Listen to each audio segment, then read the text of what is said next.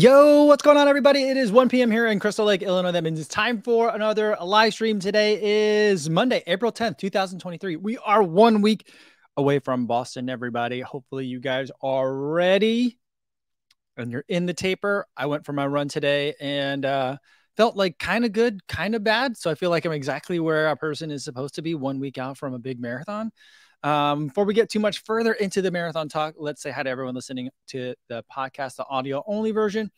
Um, hopefully, your shakeout runs are going the right amount of good and bad. Because, you know, if they went too well, that'd be alarming too. And if they went too bad, that would also be alarming. So hopefully, it's just right in the middle, the right level of good and bad for you guys.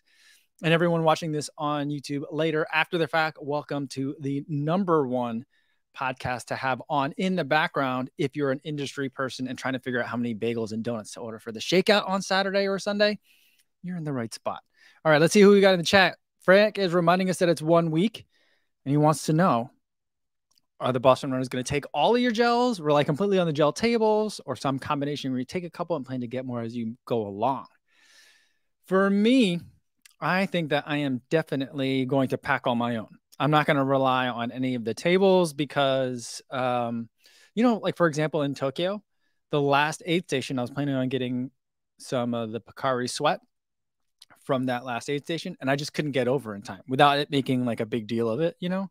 So like just to avoid all that, I'm gonna, I'm gonna pack all my own. So that's that's that's where I'm at. Stephanie says I'm not running Boston this year, but took the day off from work so I could watch it live from home. Oh, that's exciting. And Masked Runner says Look at this. Look at this mask that's on here. I can't point to it because my the box is in the way. Here we go. Mass runner says, "Let's go Boston Marathon a week, people." Awesome. Um. All right. Let's see. Let's see who else got in the chat here. We've got um. Martha says, uh, "I felt kind of bad today on my run. It's normal. Good for you, keeping it super easy. See, there you go. It's got it. It's if it if it went too well, I'd be I'd be worried. You know." Uh, and Ryan, I run on beer says, Cheers, y'all. I'm absorbing everyone's Boston excitement to get me amped up to start marathon training again. All right. That's good. That's good. That's a good way to kind of like take in the energy. That's um, definitely there's a, a surplus of it. There's a lot of Boston marathon energy going on this year. I finding I'm finding it to be actually a little bit overwhelming personally. I'm having a hard time with it. I gotta tell you, but trying to like, you know, take it all in, take in what I want to take in, let everything else kind of just you know, whiz by me, you know, like wind. But it is starting to feel like a lot. So I'm trying to like keep an even keel on everything. Um, all right. Martha says so. It's not tables though for the for the gels. Yeah, which is what I would expect. There are long lines of volunteers, a good quarter mile just standing there handing out the gels like candy. You needn't worry. I end up with more than I started with. That's interesting. Um, what is uh, New York? They'll have that too. Uh, I what's the gel at New York that they hand out? Is it the Gatorade gel, but they have uh or is it another gel? I can't remember, but I remember seeing like long lines of volunteers. They have really nice jackets, you know.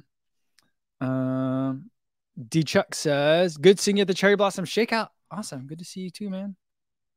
It was nice to see you there. And Alex says, yo, stoked that ESPN will be streaming the run basically all day. Looking forward to it. Have you decided what shoes you're going to run with yet? Alex, that's a good question. I have made a decision, but I'm going to leave that for be a surprise for the flat lay. You know, so when that flat lay video comes out, the real, I'll, I'll, I have a surprise for you guys. I think you guys are going to like it, or maybe you won't. I don't know. I don't know, but uh, I think I'm making it a bigger deal than it needs to be. But I'm just going to leave it as a surprise. It's not like you know, it's not like LeBron announcing who he's going to sign with next you know, it's just uh, it's just a shoe that I'm gonna wear. But it'll be a fun one. Mm, all right. Yeah, oh yeah, yeah. Okay. I don't know said New York was Honey Stinger gels in 2021. Oh, was it Honey Stinger? I don't know that. I like I like the Honey Stinger waffles a lot, but I don't know that I would want the gels. Hmm. Stephanie says my relay team won first place at the Carmel Marathon over the weekend. Yeah and she says, "I get by with a little help from my fast friends." Well, that's that's so cool. I think more races need to have the um, marathon relay. I just think that's a really good way to get more people in the community involved, and kind of like, you know, it's a nice like, kind of like gateway drug for a lot of people. Um, Stephen Lung says the New York City Marathon does Gatorade and Science in Sport gels. There we go. That's a good one. Mm. Stevie76 says Kofuzi is taking his talents too. It'll make sense once you guys see it. Uh, and Tony Macias says took second overall at a trail 10K on Saturday. Awesome. It's a nice little cash payout and a great way to start the taper. Excellent work, Tony. Hey, are you still going to be lining up at for 255 pace or are you going to do it faster than that? Um, I was watching uh because then I can find you. My my bid number is like 55,000 something, 5281, I think. Uh, wave one, corral six. I'm guessing you're probably somewhere in there too. Um, and I was looking at uh, everyone's got their like Boston videos coming up, right? And so I was watching Hellah Sidibe's video, Hella Good, and um, he's taught he's out he's been training with NAZ Elite, not full time, but he's been getting some coaching assistance, and he's gone out there for at least one trip to do some workouts with the team and stuff, and make a couple of videos. And uh, you know, he did a run. There's two videos I did. One run he did on the course itself um, I think he did like 10 or 12 miles of the Boston Marathon course. He was doing an at marathon effort. And I'm looking at his splits, and they're in like the 630s, 640s. And then uh, he went out to Flagstaff to join the NAZ Elite team for a workout the following week. And they were doing some repeats. And they then he like asked Coach Rosario, like we're kind of like not thinking about like Boston specifically, what kind of fitness does he think that Hellah's in right now? And I think this was probably like two weeks ago, you know, based on maybe one or maybe one week ago. So he's like, there's still time to build more fitness. But right now he's like, I think you're in 250 to 255 shape. So I'm like, oh, I wonder where Hellah's going to be. But I looked at his bib and I don't know if it's because of who, like who got him the bib or what, but his bib is in the, with the charity runners. So I was like, wow, that would have been fun to run with him. But I, I don't know. I just feel like he's a very strong runner, so I feel like the hills are going to be no problem for him. But we'll see. I'm trying to figure out who, you know, who we can get together, um, to build a, a little contingent, you know, or like a little mini pack. Because I don't know if there's going to be a 250. There's not like a 255 pace group, right? So like, yeah. Tony says, still looking to coordinate with you for 255 ish. We can sync up and chat more about at the rabbit shakeout. There we go. Perfect. Um, and uh, where'd it go? Mark says, Co, we're in the same wave and crowd. Awesome. Yeah, I think there'll be a lot of people in there. So I think it should be fun. Um, so yeah, I, am not sure what the weather's going to be like though in that corral. Like, I don't know how, I don't know how close I'm going to want to huddle to you guys or far. Right now, it looks like it's going to rain. Yesterday, it looked like it was going to be raining with a side wind. Then this morning, it looked like it was going to be raining or potentially raining with a tailwind. Yesterday, it looked like it was going to be humid with a headwind. So I think it's just, I don't know. Who knows what we're going to get? I actually think that a light drizzle and a tailwind would be ideal for me. Um, I do like it when it's a little bit wet out for the rain, for the race, you know? And Will Gravel says, Yo, popping in to brag a little bit about my PR from the weekend under 230 for the first time. Woo! Call he called his shot, everybody. Do you guys remember that? Last week, Will came in here to say, I'm calling it. I'm gonna go sub 230. He went under 230 with a 29 to 29 33 in Carmel Stoke. That's fantastic news, man. That's that's incredible. Great job. Great job. Um, and 23 millimeter Rody says, I'll be running between 250 and 255. I'd love to pull love to pull through as a group. Yeah, I mean, here here I am like trying to collect people to run together. Um, but at the same time, like I like I run hills differently than most people, you know. So like I don't know. I think we can kind of be loosely a group. But um, you know, when we go uphill, everyone will probably go a little bit faster than I want to go, but I'll catch you on the downside. You know what I mean? So, so I think that'd be fun. Um, I think that'd be fun to kind of get a couple people uh, in there together. It might be a big group. I don't know. Um, Kevin Bandy says, "What's the race kit for Boston, bro? You gonna make a vid on it or not?" Yeah, I'll make a video for it. I'm gonna be running in the Bandit kit. It should be arriving soon. I got I did get a package today. I gotta go to the PO box. I don't know if that's it, but they're sending me like they have Boston specific kit that they made, so I'm gonna be running in that. Um, looking forward to it because I just I've been running in the other half tights. They just they they're on version two or like Gen Gen two now for their half tights, and they actually have two kinds of half tights now, one with a lot of pockets and one with not a lot of pockets. So I guess for like the sprinters and then the distance runners. Um, I ran in the new ones today and they were really good. really like them. Um, so that that should be really a lot of fun. Um, so that's what I'll be running, and I but I will make a video of it. So like I'll you know do the shoe reveal and the kit reveal all at the same time. Uh, C Time fan says we have a chance to meet Kipchoge. Oh, you know, no, I don't think so. So, um, yeah, I, I don't think that's gonna happen for me. And that's okay. Um, Manor Run says, question, Mike, gonna go to Boston for the shakeout runs and to watch the run. What's the best way to get third person footage of the run for you? Um, I mean, the best way to do it is to do it horizontally, and if you can do it uh, in slow mo, that would be better. Uh, so 120 frames per second, that'd be awesome. You know, I'll post a link to people. I don't want you guys to have to worry about filming me or whatever, but if you do want to send me stuff, um, if you could send it to me like that night, I'll post a I'll start posting the link in the description like tomorrow. I'll, I'll, and I'll edit the description today. I have an upload link that you guys can send me stuff if you guys want to send me footage and stuff like that that way. Um, or and look and, and like you know if you're just guys are just cheering too, I'll I'll put some of that stuff in there as well. So I think that'll be fun.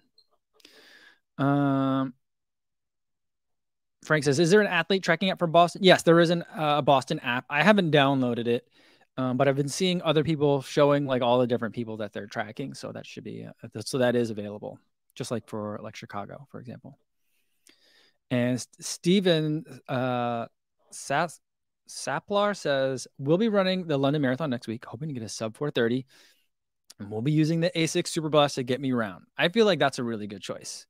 Um, because that's going to be nice and uh, shock absorbing for you, but it's still got that FF turbo, so you get a little bit of both. So that'll be nice. Good luck to you next week. I feel like, um, I mean, does London always do it like the week after? Some some years it's two weeks after, right? Or is it always the week after? Because I feel like you know then London's getting short shrift. You know, it's a world major marathon, um, and I feel like everyone kind of like dives into Boston, and then it's kind of like, oh yeah, London, which I'm like, mm, I don't know, that doesn't seem right. Doesn't seem right. Uh, DeChuck says, I think I read an article where Casey Neistat was an inspiration for your videos, and I definitely see the cinematography resemblance. Did he inspire you to run too? Um, yeah, that's definitely true. I was watching a lot of Casey Neistat vlogs uh, back when he was daily vlogging. Um, and um, you know, he is and he isn't an influence because I'm very susceptible to narrative voice. So like even when I if I read a book, like Chuck Palahniuk's one of my favorite authors, but like he has a really strong narrative voice. And so like back when I was doing a lot of writing in my spare time as a hobby, like if you read a lot of Chuck Palahniuk, you end up kind of like mimicking the syntax, even if subconsciously. Same thing for Casey. Like I had to stop kind of watching his videos because I found myself like recreating like the stuff that I saw. Um, and that's also where a lot of, but at the same time, that's where a lot of the slow motion from the videos comes from, is because Casey did a lot of time lapses. What's the opposite of a time lapse? Slow motion. So that's kind of like where the, the the nugget of that idea came from, and then it turns out it works really well for running. Um, but also for the running too, because there's for a while where he he was doing daily vlogging and also posting a lot of his running, and I was also doing a lot of or getting back into running at the time, and so like I was also making vi- videos, daily vlogging, and I realized that running is a great way to fill up some space. you know, when you're trying to like crank out a video every day. And so, um, yeah, so it was both an inspiration on that on a, on a lot of different levels, and with the running too. Um, so, yeah, that's a great question. Thanks. Um, Daniel Burton says, Kofuzi, I notice you cough a lot when you're running. Yeah, you know, I just think I have a weak stomach in some ways. Like eating wise, like I'm fine. I can eat a bunch of food and run and I never I never throw up. I won't throw up, but I'm always coughing a lot. And I just think that there's something about me constitutionally that's a little bit on the weak side. I don't know if you want to call it gag reflex or what, but just I'm when I was little, I used to throw up all the time. If I was in the car too long, I threw up. If I ate too much, I threw up. Um, you know, I just was like throwing up all the time. I don't I don't throw up that much now but I do a lot of coughing when I'm running. Um, Smitty Low says, Can you give me any tips on how you lost the weight? I'm 6'3 and 260. I want to lose at least 20 to 30 pounds. Yeah, I mean, I'm not a, a weight loss expert and I don't really like to talk about weight loss all that much. but uh, let me let me give you kind of like some if I can give you some advice, Smitty. The thing that I would say is like it's one thing to like want to lose 20 or 30 pounds, right? And I'm sure that your motives are really good for that, you know. But I think the way that it was successful for me is like to think about what's the lifestyle I want to live, right? And let's do the things and make the decisions that make that lifestyle happen, right? And then the body will follow, right? So for me, I wanted to be able to run better. And that meant a lot of Saturday morning long runs or Sunday morning long runs. And what that meant was maybe not so many beers on the night before and maybe not go out to eat after a night of drinking to stop for tacos before I went to bed. You know what I mean? So like figure out what the things that you want, right? And make your lifestyle choices match that. And then, then your body will be a reflection of the lifestyle that you're living. That's kind of how I approached it. So I know it's not quite that straightforward and simple for everyone. And I've always had kind of a fast meta- metabolism. So like my body responds quickly to change like that. Um, so it's not that quick, but I do think that the concept is that simple or straightforward anyway. Simple is not the right word. So hopefully that answers the question a little bit. Uh, Mila wants to know, am I five out of six stars after Boston? I'll be fourth star. So I only have three right now. So Boston will be my fourth. And then I'm sure it'll get taken away later. But you know, that's another story. Um, Rev KC says, ran my first marathon this past Saturday at age 46. Awesome. He ran a 452.05, or Rev ran a 452.05 and going for sub four next year. Well, that's awesome. Congratulations. That's a great way to start. Awesome. Um, Mike is running says, "Yo, are you starting to get excited for Boston?" Yeah, I'm. I'm starting to feel overwhelmed for Boston, frankly, just because I like. There's a lot of planning that I got to do, um, and I'm worried that I'm just, you know, not gonna feel unprepared for stuff, you know. And then every time I travel, I gotta. This time, I'm not so worried about having so many videos ready to go, um, but I do have to do a little bit of work ahead of time, so I have videos that release while I'm away, you know. So like this you know, um, yeah. So uh, I'm trying to figure that out. Just there's a lot of stuff, and it's tax time, and I'm always late on tax time. And it, my, I have the nicest accountant in the world, and every year for the last 13 years, I've been telling her this year is going to be different, and I think she's kind of figured out that it's never going to be different. So, you know, it's just stressful. And whenever I get stressful, I don't sleep as well. And I don't eat as well. And then that those either of those two things going on always makes my mental health kind of dip a little bit. So I'm I'm trying to like get through all the stuff I need to get through so that I can start getting in the right headspace for Boston because it's a big deal, you know. So, but I'm getting I'm getting there. I'm getting there. I'm also in the taper too, so it's like a lot of things. Um, Shannon says, "Hey, Co, uh, what's the deal of the live live live stream live? 6 p.m. at ASICS, just show up. You know, I, will follow up.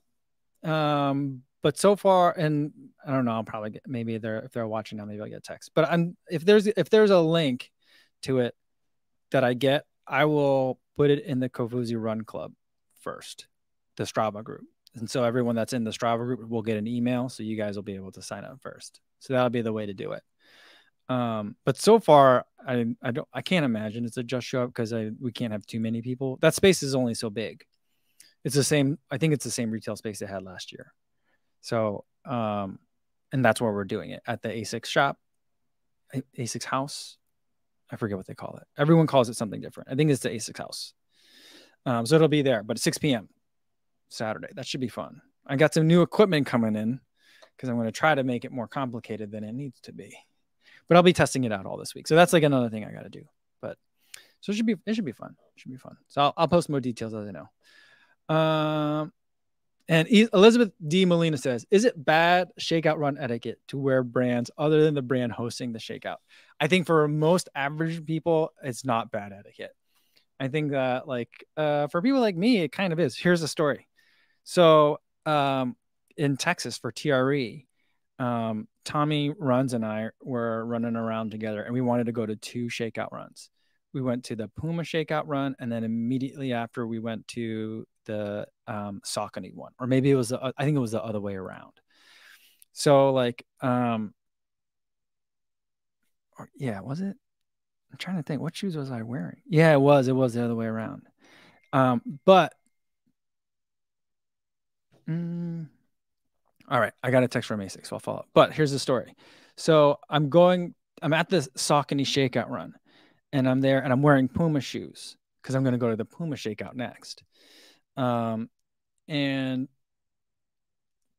I'm there with Tommy, and Tommy introduces me to someone who's like, um, like regional head of marketing for the Americas, or someone like so as an executive.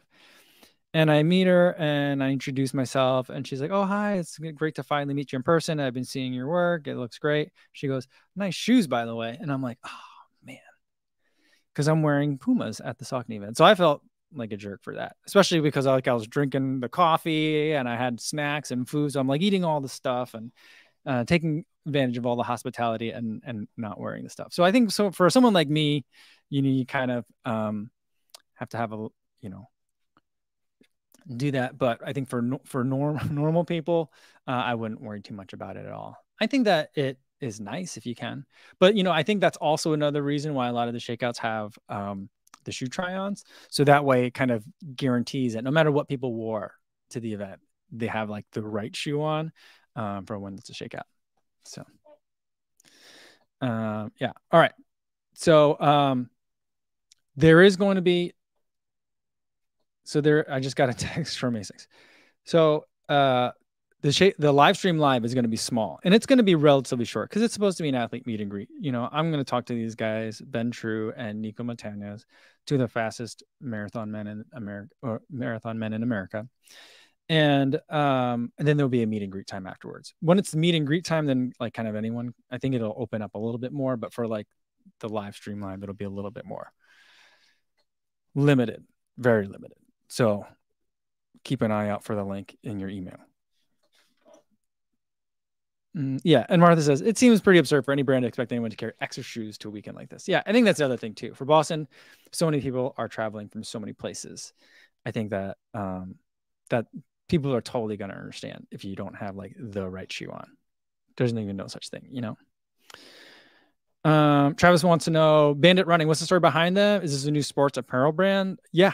So they're ba- they're Brooklyn based, but they're, but they're going nationwide, and uh, it, kind of is like a mix of like run club culture and like streetwear and running culture. So I feel like for me, I like them because it sits like at the intersection of like running and art a little bit. So like running as expression in quite a bit a, a different number of levels, you know. And so I I really like that about it.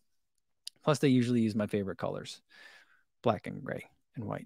So like so the the apparel appeals to me. Um, and so that's they're relatively new. You know, I mean, uh, I think that they have existed for several years, but I feel like they started out as a socks, and then they went from socks to like you know a full line of apparel, and it's like growing and developing into like a, an actual company. So they're they're moving quickly, it seems, but some good people over there at the brand. Mm, all right. That being said, let's get to some of these boxes. So we had two boxes. So remember, I don't know if you guys remember last time we were here and people were, were talking about like, I don't know. I thought I was getting a pair of Cumulus and I would love to be able to take a look uh, at the Trabuco Max. I don't know where they are. You know, I guess they're coming some point. And then in the live stream, I get a text from uh, one of my contacts at ASICS and they're, and they're like, we just got the tracking notification. It got delivered to your door. And then I, after the live stream, I went upstairs and this was at my door. And then today I got this box over here delivered and it's also from ASIC. So we're going to take a look at uh, these boxes. So well, let's check them out. All right. This one is heavy.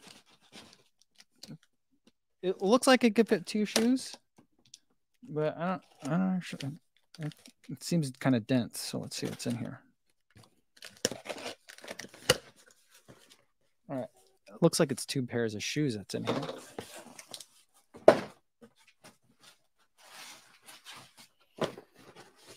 All right.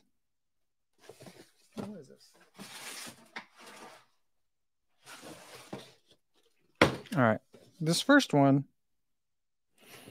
I think this is, I think they sent me the wrong shoe on accident. Is this a new color? The Nimbus? I think this is the Nimbus 25 I already have, or is this a new? This is the same one I already have. It's a Nimbus 25, but this is, I think the one that I have is like cream and white. This is like white and white. This is very pretty. I like this one a lot. It's very much like the secret one. Where is it? It's over here. So this was a secret one that was like uh, unbranded. And this is the new one. Yeah. That's pretty much it. The only thing is there's just an ASICS logo and it says Gel Nimbus on the side. So this is definitely different than the one that I already have because the one that I have is like a canvas color up top or like a vanilla up top, which I also really like. But this is nice. Ooh, very clean, very clean.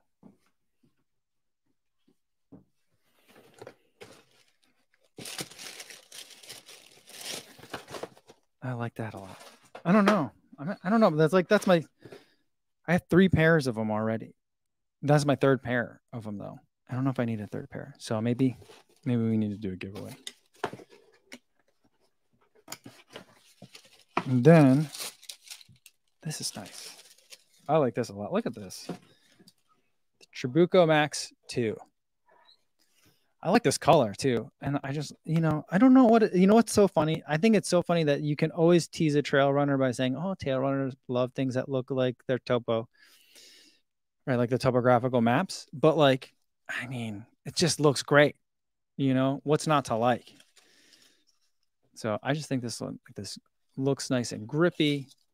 There's no more lace garage in here. The laces are a little bit stretchy, and then it's kind of reminds me of the um like the old like last year's Nimbus, the 24, how puffy it is back here. So that should be nice and comfortable for long days. FF Blast Plus feels lightweight. I mean, for the size of the shoe, you know what I mean? So, yeah, Daniel Suvi says cool details. Eliza says the colorway's fire. Uh, I agree. And uh, James says, "What size are you, Co? Send them down here. I'm a nine. So we'll see. Yeah. Um, so we'll see. Yeah, I think we're probably gonna do. We'll have to figure that that one out. Uh, Momentum Unbound says it's a cool shoe. Got a cool fade. Yeah, you know, I don't really, you know, I, I've said for the longest time I don't like color fades, but they did it on the Nova Blast three, and they did it on this, and I'm not mad about it. I kind of actually like it. So I don't know. I think I have to change my mind. I also used to really hate dual density foams. Like if there was two foams in the midsole, I used to hate that. Now I'm okay with it. So uh, I, I, I'm I'm okay to. I'm happy to evolve. Oh look, there's gaiter attachments on this too. You know what? I think I'm gonna have to get a gaiter to try this out. So it goes from there and hooks up onto the front. Like this summer, I think I'm gonna try to find it. Do you need gaiter attachments in the summer? That's more like a winter thing, right? I don't even know. I feel like, but I feel like there it's time for me to try and use one of these gaiter attachments. I just feel like I'm going to look like a horse, like a Clydesdale, you know, like when I do that. We'll see. Um, yeah, Travis Manoa says, you just need more feet, Co. I, I do, I guess. I need to be able to run more. Mm, yeah, and Super Unjit says, I'm getting those last three vibes on the Trabuco. I think it's the color fade. I think that's what it is. And Mass Runner says, What percentage of people live close enough to a trail that would require a shoe like that? I mean, yeah, I, I think this is pretty intense. And, um, you know, I am going to run with it on the trails around here in Crystal Lake. But I also think I'm trying to find, figure out a way to like go on a trip a little bit, get into some hills. And CV76 wants to know what the color of these shoes are. The box says black and golden yellow. I would have said orange and then yellow on the bottom. That's what I think. It's black, I think. Pretty breathable upper. This will be a lot of fun. I think I'm gonna like this. And Alex Herman says, "Do you wear the same size Nova Blast as Super Blast?" I do.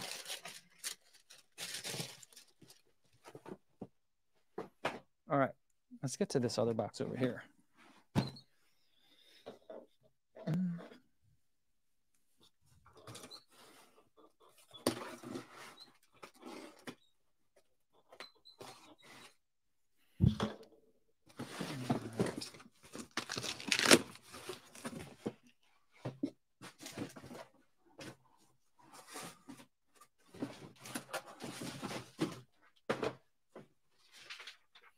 All right, they put a tech sheet in here. I don't think I'm supposed to share these tech sheets with you. Although I think this is just straight from the website.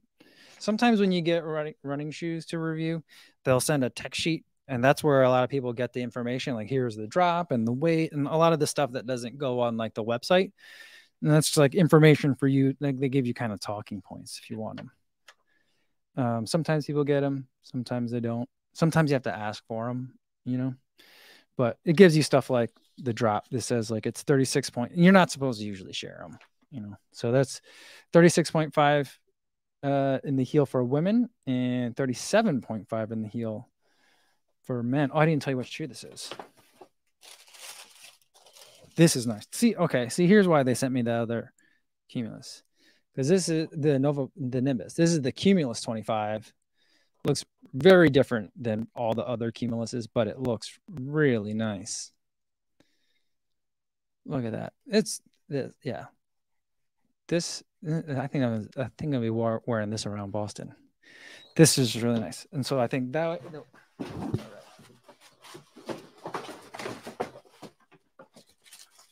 Sorry, I'm making so much noise over here. But the reason why I see now there's a matchy matchy set. You have the Nimbus and the Cumulus. Look at that.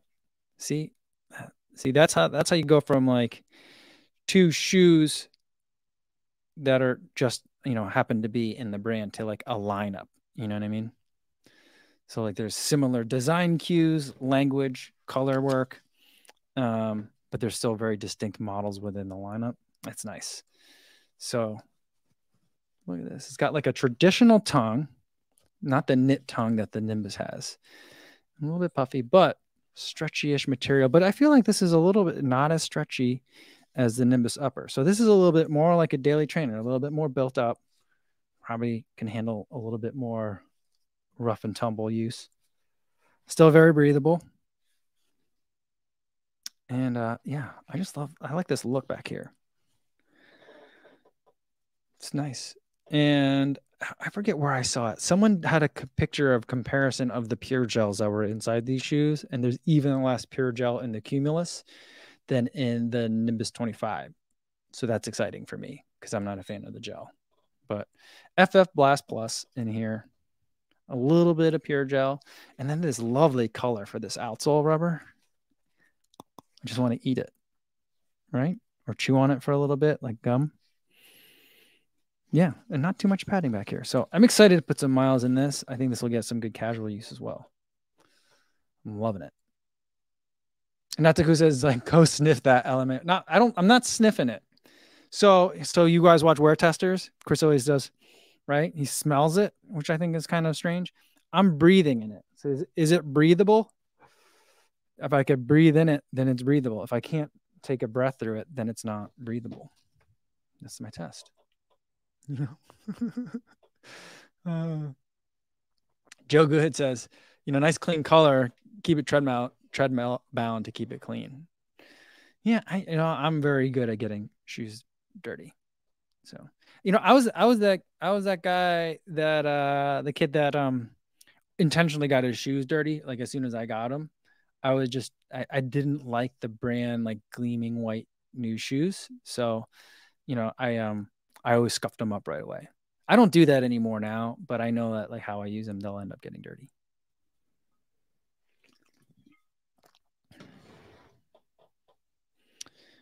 Um, yeah, Eliza says all the tossed Gatorade cups will stain all these shoes.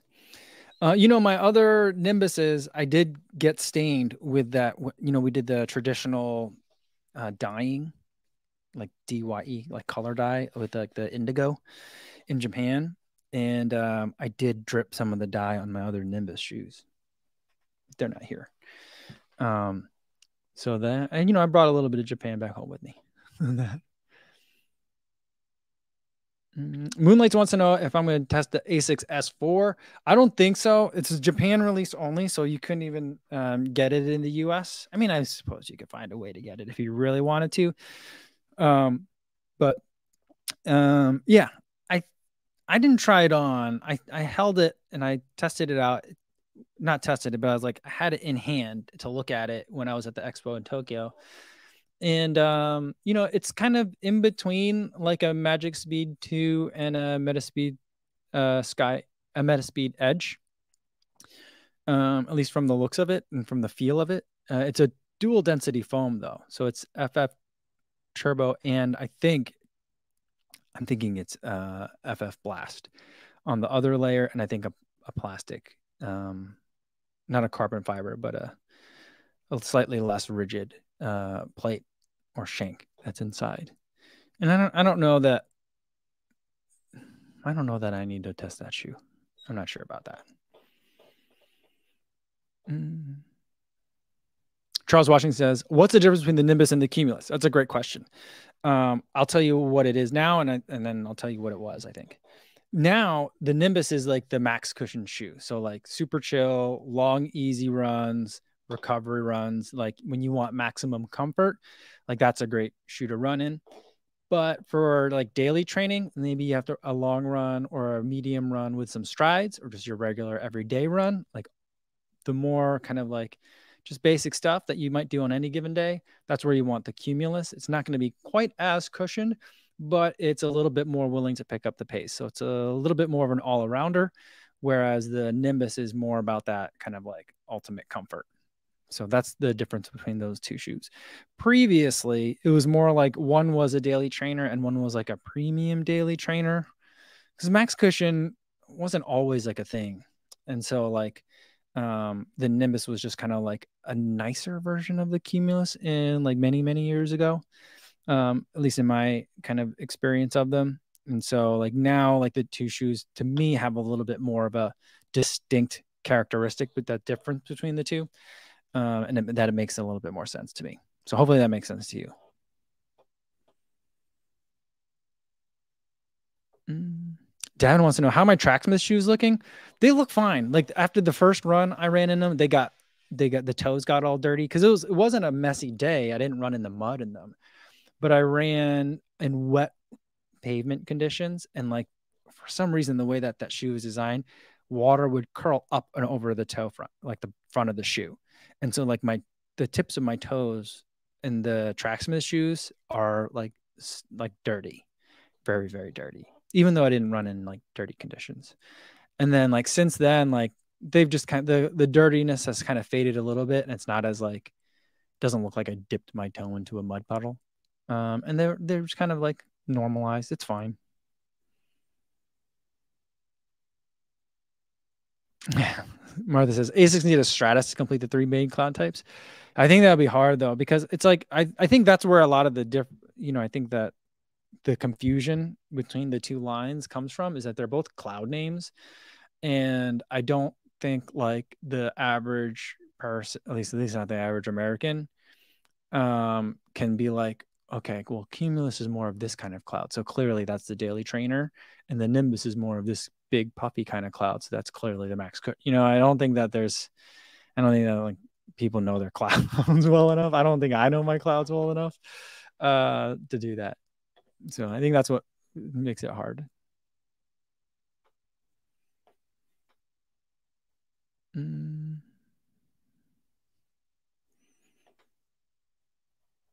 Let's see what else we got here. Um, Martha says, after that comparison, go. Uh, you mean the comparing the Cumulus and the Nimbus?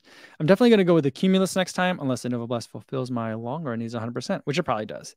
I think that the the Nova Blast may, Martha, but I think also the Cumulus could work for you too, because it is. I think I, I haven't now. Granted, I just un, uh, unbox this now, so I don't know. But generally, the Cumulus is a little bit more firm than the Nimbus is, and so I get the sense that this will um probably suit your preferences just a little bit more.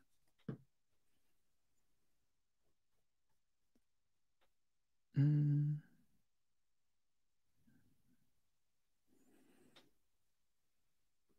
Uh, Christian Perez says, any shoe recommendation for helping over pronation? Yeah, I mean, I, I, I can give you a couple of recommendations, but I will say that I generally think that people overthink it too much, um, unless it's something that like your orthopedist or your physical therapist is recommending that you do, like I think a lot of people probably don't need to be in it. Um, and what people are concerned about with overpronation may just be a case of maybe you need new shoes. Uh, just need a fresh pair. And um, I think that a lot of times as people get stronger and and more fit, um, a lot of those problems tend to resolve themselves a little bit more. And so that's kind of my general uh, take on it. I'm not a physical therapist or a physician, um, but that's my general take on it. And maybe that's partially informed by the fact that I really don't like stability shoes. Um, but shoes that I would really generally look for are ones that have a little bit wider of a base. And what I mean by wider is like on certain parts. So here I'm looking at the Cumulus. This is a neutral shoe. It's not a stability shoe by any means, but like it's see how it's like it's wide right here. It's got a lot of space for you to land on. That wider space is going to make it so that you're not curling in so much. And also flares out at the heel, same thing. So that way there's just more for you to land on. So there's less likely that you'll kind of be tipping over and all around. We're looking at this Nimbus too. This Nimbus just stays wide the kind of like the entire way, even wider up at the uh, the kind of pads of the feet, but all through the arch it stays nice and wide. And that wider landing pad for you is going to help make it so that way you're not unduly curling in. Now everyone's foot should curl in a little bit. That's what's called pronation. I think a lot of people confuse pronation with overpronation, but um, you know, looking for shoes that have a little bit wider of a base is going to help. So like, you know, I do think that the Nimbus kind of has some of that. I recently reviewed the Forever Run Nitro, the Puma shoe. That one's really wide and is kind of like the new kind of stability, which isn't um is a shoe that I can actually run in. I don't I'm not mad at that one. So that's another good one, but it has a lot of those same concepts of um a foam that's not overly squishy and um has a wide platform for you to land on. So that way, even if the forces, even if you're not landing exactly correctly every time, the shoe has enough there to absorb some of that extra impact. Hopefully that makes sense. Mm.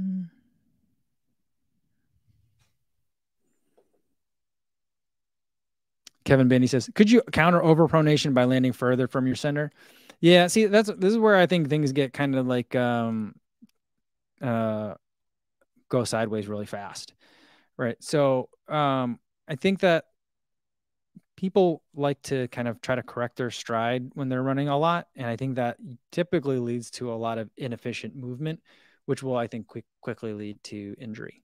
So you have to be careful for that. If you want to try and do some of those corrections, I think the best way to do it is to do drills immediately before a workout because the drills will reinforce kind of like overemphasized movement, muscle movements, kind of teaching your body like this is the way that I want to move. High knees, kicking your butt, you know, um, lifting up from the from the um, from the quad, like those kinds of things. When you're doing like toy soldiers, high knees, butt kicks, all those kinds of things. And then to do that immediately into your workout, then when you're trying to move quickly, your your body has like, oh, this is how we just moved. Let's continue moving in that way. And so you get double reinforcement. Some people like to do drills after a run, and I think that's backwards. So like that, that's kind of like one way to do it. And you know, I think that like what C Town found is saying, like most people find their running form by just running, is kind of like a way of, of what I'm saying is that like your body finds a way to naturally find the most uh, efficient way that is capable of moving given its current level of strength right and its predominant way of moving now, as you start running more and getting more fit and do things like glute activations and waking up those butt muscles and doing your mobility work, your body begins to be able to move in other kinds of ways that it maybe previously couldn't handle. And so then your body again continues to make itself more efficient. And so, like, it kind of, you know, like doing drills is helpful, but like the running more and getting stronger by running more is usually like in my opinion i don't know and again i'm not a medical professional but like that i feel like that's the correct order of horse and cart if you ask me um momentum unbound says i used to try to correct my stride ended up with an injury now i just run whatever feels natural but i feel my stride is actually improving as a result without really trying yeah that's kind of where where i'm at um and Matthias Ventus says 100% agree, Co. I think that's why we have seen a structural change in stability shoes with shoe companies. Um, I've heard foot doctors say a much as much about shoes correcting stride and form. Yeah, so I mean, I think that you know, I think we're figuring things out uh, new things out as we go. Um, let's see here. Um, Sober Gummy says, I used stability for a long time and slowly worked in neutral shoes until I was wearing neutral more than stability, now exclusively neutral shoes. I did that over the course of about three months. Yeah. Here's the thing though, you know what I found is really interesting is that um, you know, I love to ask professional athletes, or I love it when podcasters interview athletes and ask them what like their like a week's worth of shoes is for them. And I think it's amazing that as much as I really detest stability shoes, um, most pros usually have one stability shoe in their lineup. And it's just doesn't make any sense to me. Like I remember an old interview by like of Gwen Jorgensen. She's like her favorite Nike shoe is the structure. And I'm like, the what? The Nike that stability shoe? It's like her favorite shoe. That and like the Zoom Elite. I'm like, or what was it? Yeah, it was the Zoom Elite. Do you guys remember that shoe? Am I am I saying the name right? I don't remember. And then I was just listening to a podcast with Nico Montañez, and one of his favorite shoes is the Kayano. And I'm like, the guy is a 209 marathoner, beautiful stride, and um, one of his favorite shoes is a heavy stability shoe. I don't understand that. I mean, he says he likes the Nova Blast as well, but I'm like, the Kayano, really? I'm like, okay. There's I don't know what it is about that, but there's there like pros. There's I don't know. I don't know what what what I'm missing, but they seem to like them. So I don't think there's anything wrong with them.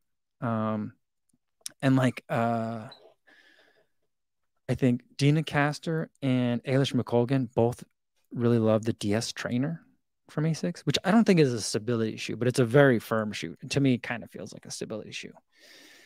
So yeah, I don't know. I don't know what it is about it. Fast runners still do like the stability shoes.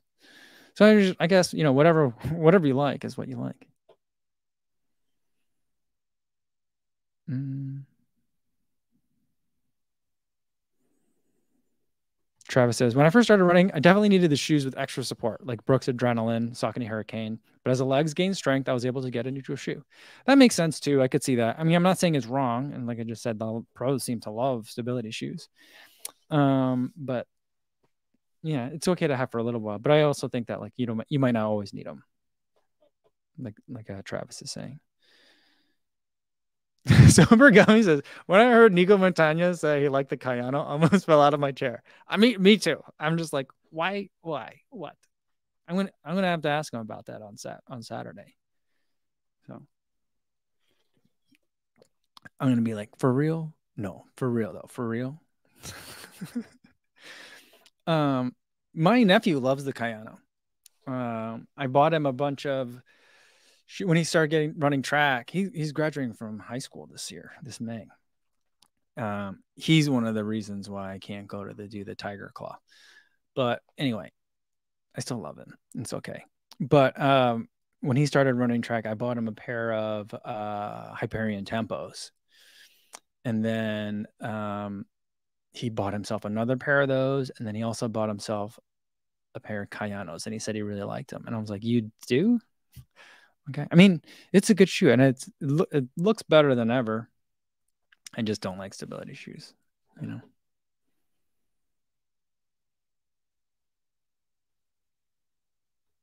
Daniel Suvi says, I wonder if Kipchoge likes any odd shoes. Uh, I don't know. I mean, he certainly has preferences, you know. I mean, the the the rumor, or at least this the marketing story, was that the turbo was developed so um, Kipchoge could have a daily trainer he could run in every day. And I, for whatever reason, the Pegasus wasn't it. So like I remember, I remember that being a like a marketing pitch. I don't know if that's actually true or not, but like remember they did the Pegasus Turbo release in uh in in Japan somewhere.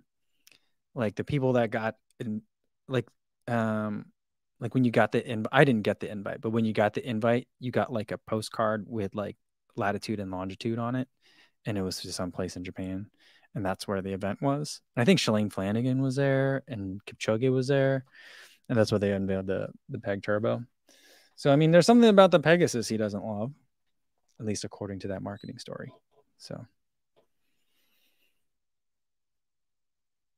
Mm-hmm.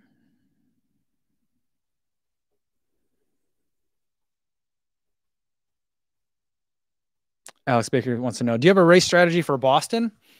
Um, yeah. Uh, you know, I did a uh, thing with um, Marcus Brown and uh, Peter Bromka over on Relay, uh, which is the Patreon thing that we're all kind of doing together, a bunch of us. Uh, Patreon.com slash relay. Anyway, uh, we talked a little bit about it. He's run it, I think, eight times now. Uh, and Marcus ran it the horrible year, horrible weather year. And I was like, guys, you know, I've heard I've heard both of them talk about the course in detail, and I'm like, you guys are giving me too much detail. Can you help a person who can remember like three things at a time, like some tips on how to approach Boston, you know? And they were basically like, all right, it's a little bit of downhill and mostly flat for the first 16 miles, hilly for four or five miles, and then mostly downhill the rest of the way. I was like, okay, okay. So I think my strategy is going to be to run uh, be run about my fitness pace for marathon effort for the first 16 miles and not be too scared if the number is a little bit on the fast side or even a little bit on the slow side um, along the way. Because there are some significant downhills. Like the first mile is is very downhill. Um, and then there's a really big downhill right into mile 16 i think the biggest downhill of the course is right then and so like I think I'm going to be okay with if I'm going a little bit too fast. I'm a pretty good downhill runner, I think. Um, and I'm not that worried about trashing the quads doing the downhills. Um, and some other people have mentioned that like, you know, no who was I listening to that was saying like they weren't willing to go so far as saying that CIM is a harder course, but CIM is an underestimated course and not all that entirely different than the way Boston is. So I've like I feel like I, I think I kind of know what I'm getting into, and I am very comfortable with my marathon effort. So marathon effort for 16 miles, and then once we hit the hills, each hill roughly is about 100 feet high and about a half mile long. It's not exactly, but that's how it, it's an easy way for me to remember it as someone that can't remember many things in their head at once. And so the way I see it is if I run two minutes a mile slower up the hill for half a mile, that's going to be a one minute penalty for each of those hills. I don't think it'll be quite that much, but even if I take that long, that'll be a four minute Boston Marathon penalty from what I could run on a flat course. And I'm okay with that. So that's kind of how I'm looking at it. And then hopefully I can at least maintain my marathon effort or pace for the last 10K. So that's what I'm thinking. I lose four minutes in the hills, but then have a good day otherwise. That's kind of where I'm at. I don't know if that's going to make any sense at all, but that's the rough game plan. So anyone that wants to join that 255 group, corral one, wave one, corral six, that's that's going to be the plan. uh, yeah. Sean Devlin says the plan is run fast, don't bonk. There you go. There you go. Gary Howland says, just wanted to wish you all the best from the UK for Boston. Entered my first ultra today, 50 miles in 2024. Awesome, Gary. It's gonna be fun. You know, I was looking, I was trying to look for some 50 milers to do here um, in the summer, but there aren't that many that were feasible for me to do. So I might do another 50K this summer. That's what I'm thinking. Mm.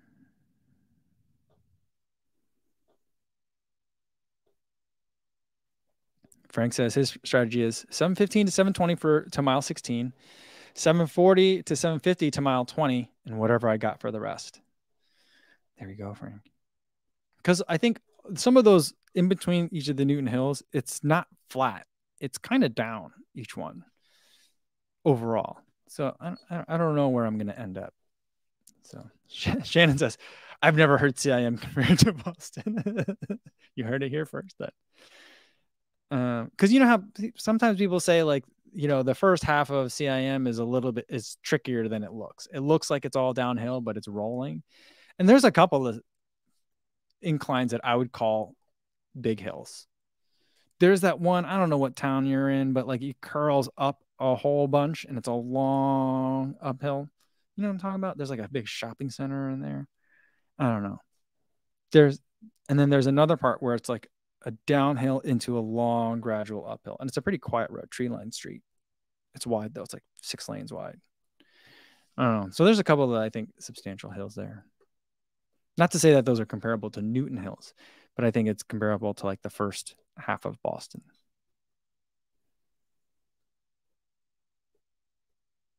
Adam says the crowds at the start will keep you in check. Keep it easy on the big downhill into Newton because you almost immediately go into climb after. Yeah, I mean that's a uh, that's a lot of the uh, advice that I've been getting too, and I'm yeah that's the other thing is like I'm not going to worry too much about speed in the beginning because I feel like as long as I'm lined up in the right spot, I'll be around people doing about the same thing, you know. So I'm like uh, I'm going to be congested, and that'll be a good speed limiter. That worked actually, I think, re- uh, really well for me in Tokyo. A little bit I mean, I was a little bit slower than I think I needed to, but my first mile in Tokyo was like 750, maybe eight minutes. So like a more than a minute off of marathon pace. So like uh, that that was okay. It was a good way to kind of ease into the race, and I think help kind of like prevent my race day adrenaline from like activating too many systems. You know, my theory is like if you go out too hard in that first mile, your body just goes from like standing around shivering in the corral so like working a little bit too hard then it's like all right aerobic systems activate anaerobic systems on like start emergency systems turn it every everything on we need everything you know and i think that just sets your body into a weird metabolic state you know so i think easing into it is a really good way to do it that's why i don't love like a big downhill start like i don't love the start at cim it's a big downhill for the first mile and I'm not sure that I love the way that this Boston course starts out. You know what course I love the way it starts out? Tunnel marathon. light at the end of the tunnel, you kind of run around the parking lot and then you run through a, a tunnel, which is like I think flat. I don't. It's pitch black, so like I there might be a slight downhill grade, but you don't really start to hit the downhill until like after like mile and a half, and then it's a like a two percent downhill the entire time. It's so nice until like mile twenty two or twenty three, maybe twenty four this is just really nice. But I like I like to start out a little bit flat, not downhill, because I want to save the downhill for when I'm ready to open up. You know.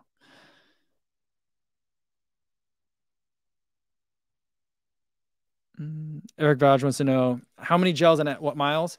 I'm gonna bring um, I'm gonna bring six gels, taking one every four miles. That's that's what I've been doing for a long time now. I don't always get that sixth gel in. Um, I did in Tokyo. I didn't at CIM. I didn't at New York or Chicago. So like, I think I did at Grandma's. I didn't at LA. No, I did at LA. And, you know, sometimes I do it, sometimes I don't. But I bring six gels with me.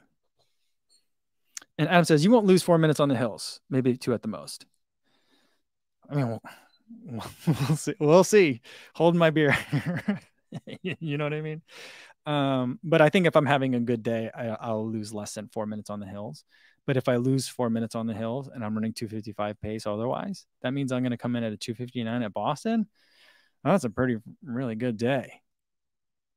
You know, that's not something that I'm going to shake a stick at. So, like that, I'm just trying to keep everything in perspective, you know, being like, the hills, it's okay to lose time on the hills. It's an uphill.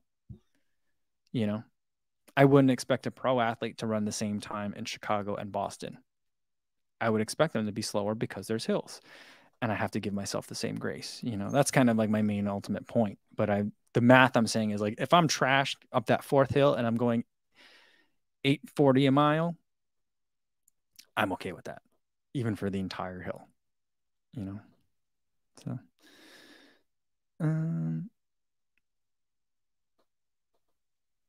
yeah, JC says I watched the John Hancock video. It's from a car at the Boston course. It's four year old, but a good watch. I've already watched it like two or th- Peter Bromka told me about that one. He's like, you got to watch it. I'm like, okay.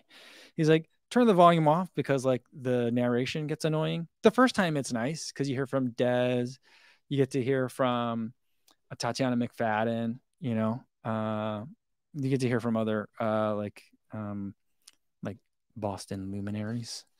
And so it's pretty cool. Um, now I do turn the volume off on it, but I've been doing it just to get an idea of like what the hills look like and stuff. And so Um, yeah, they're no joke, but I do enjoy watching that one. Um, you know what's interesting though, and we'll end on this note today, is at the end of that John Hancock video, you know, they uh they talk uh, like Ryan Hall tells you, and then like you're coming to the finish, and it's the best finish in running, all this stuff, and then there's like nice music and like slow motion footage of all these runners crossing the finish line from the official like course preview video by John Hancock, their previous sponsor. In one of the last shots, you can see a dude crossing the finish line with a selfie stick. So uh, like a GoPro on a selfie stick. And I'm just like, oh, okay. All right. There it is. Uh, I'm not saying that means it's okay, but I'm just saying like I'm not the only one. Well, of course I'm not the only one. They made a rule about it, but you know, it's just funny to watch. I don't know if anyone else picked up on that. That's like the the, the most prominent thing that I remember from from watching the the race, the course preview video. But yeah, that's gonna be it. All right. So uh, that's gonna be it for today. Uh, you know, I meant to have the Mizuno Wave Rebellion Pro video out today. I got delayed. We had some Easter celebrations, and so family time uh, took some precedence. So that video will come out tomorrow morning, and then tomorrow we'll do another live stream, same time as today, 1 p.m. Central Time. And uh, hopefully, uh, I got some more boxes to unbox. So, you know, I think I like doing kind of like one a day. I kind of like that. So, we got one from, uh, we'll take a look at a package from Janji for tomorrow. All right, guys. So I'll see you then. In the meantime, be safe out there, everybody. Thanks.